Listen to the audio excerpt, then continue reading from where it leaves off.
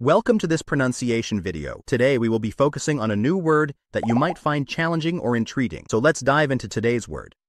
Piano, which means a musical instrument with a keyboard, hammers and strings, played by fingers.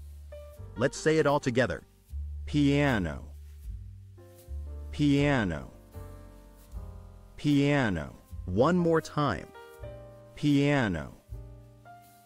Piano. Piano. Thank you for joining us on this adventure in pronunciation. Remember, language is a journey, not a destination. Keep exploring, experimenting, and expanding your linguistic horizons. We'll see you next time.